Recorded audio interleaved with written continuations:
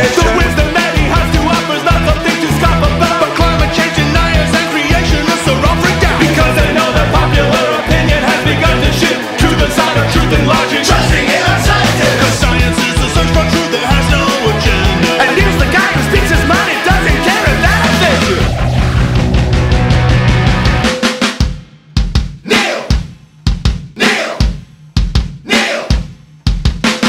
If you have a healthy science program in your country, you guarantee your economic future.